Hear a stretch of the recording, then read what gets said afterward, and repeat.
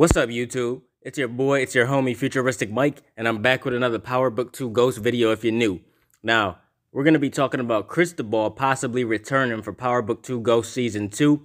If you're a fan of Power, if you love Power, hit the like on this video. If you're new to my channel and this is the first time you're finding me, subscribe and turn on those post notifications so when I post videos on Power Book 2 Ghost, you get them.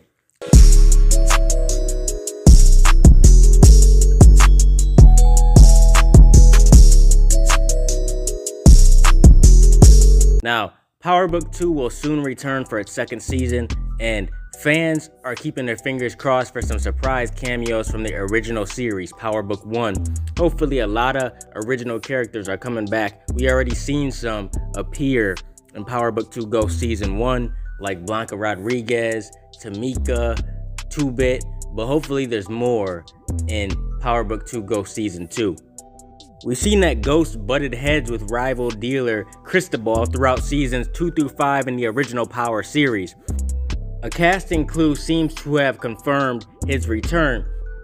If you go on IMDb and you go to Power Book 2 Ghost Season 2, it shows Cristobal in the casting. So we know that he's gonna be returning, probably, most likely.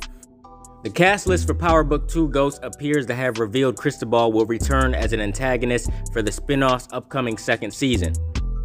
Now, despite enrolling at Stansfield University, Tariq is keeping one foot in the drug world after striking up a partnership with Queenpin Monet Tejada. However, the rising star in New York's criminal underground still has enemies everywhere trying to take him down. You know, he has enemies everywhere. Even Tommy Egan, your boy Tommy Patrick Egan, came back and he was beefing with Tariq. Mostly Tasha, but he was beefing with Tariq as well.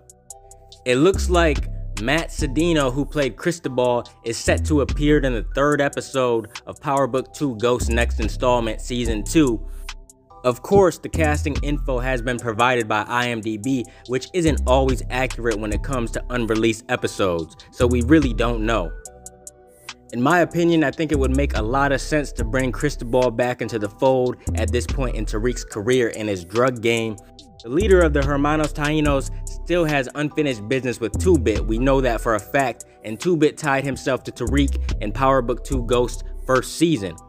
I think Cristobal could be released in season 2 and try to make a deal with Monet's husband, Lorenzo, or a new drug lord for season 2. Even Matt Cedeño himself posted on Instagram pretty much hinting that his character is gonna make a comeback. He said, remember this duo, what the fuck happened to Cristobal anyway, prison for life?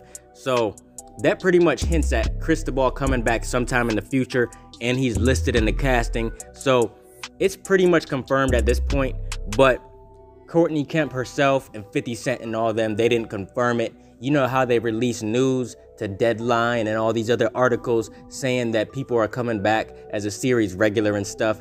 Pretty much like Effie's character and Jenny Sullivan and stuff like that. How they recently released that news. They didn't say nothing about Matt Cedeño, so it's not actually confirmed. But since his name is on IMDb and other sources, people are thinking that Cristobal is going to make a comeback and I think it would be a good thing for Cristobal to come back. It would definitely be nice to see his character because we haven't seen his character since the end of season 5. So it would definitely be nice.